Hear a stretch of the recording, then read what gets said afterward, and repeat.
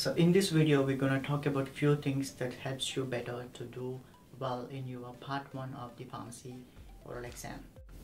So you may be aware that in part one, you are given five drugs and you have to talk them about in 10 minutes. There is a misconception that you've got to spend two minutes on each drug, but not necessarily. You can utilize your 10 minutes of time to give enough information about these five different drugs.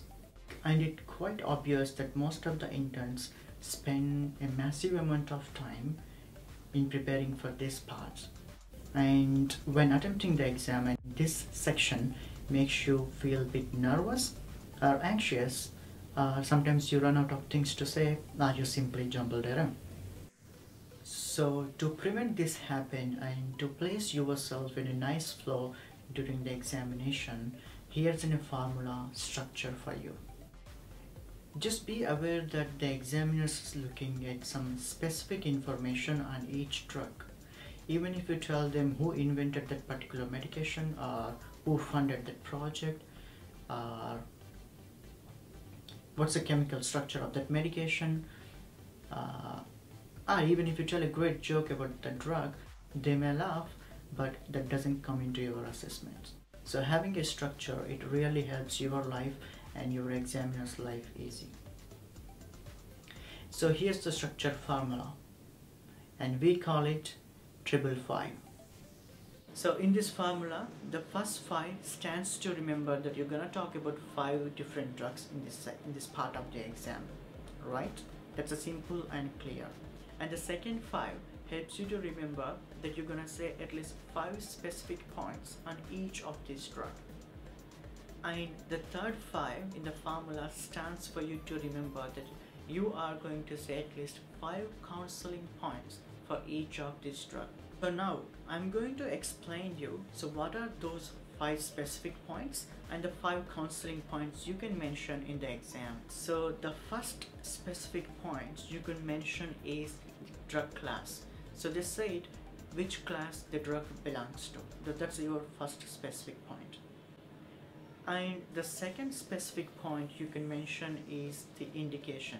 So you need to tell them so what this drug is used for. The third specific point you can mention is dosage and frequency.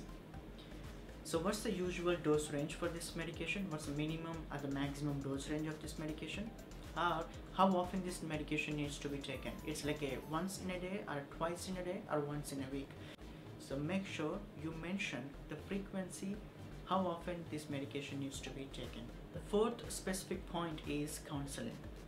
So when you come to this stage, remember you have five counseling points to mention. And I'm going to explain you in a second what are those five counseling points you can talk about on each drug. The fifth specific point is monitoring. So mention what are those things that they need an attention when they're using this particular medication. You know, it could be a creatinine kinase levels, our blood glucose levels, our lipid profile, our renal function, renal function, you know, our symptomatic improvement, uh, adherence to the medication. So you can mention these monitoring points that's specific to that particular medication. Now, let's have a look what are those five counseling points you can mention in the exam. Well, in my opinion, counseling is a key thing. It helps you to connect with your patient. What you say and how you say it matters a lot. First point you can say is to introduce the medication. Tell them what this medication is and what it does to their body. That's going to be your first point. Second point in the counseling is explain them what happens once they took that medication in. What they are, what they can expect out of this medication how long it will take to work. So you cover this information as your second point of counseling. So in the third point of your counseling, you can mention all the ancillary labels that goes with the medication. Here you can mention how to take that medication or what's the storage conditions in relation to that medication. Can add this information in your third point of counseling. So the fourth point of your counseling, you can mention the common side effects of this medication or how long the side effects will last.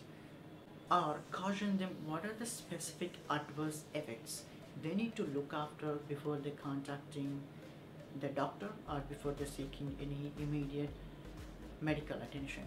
The fifth point of your counseling is lifestyle advice. Because I can't stress you enough, lifestyle advice is a key.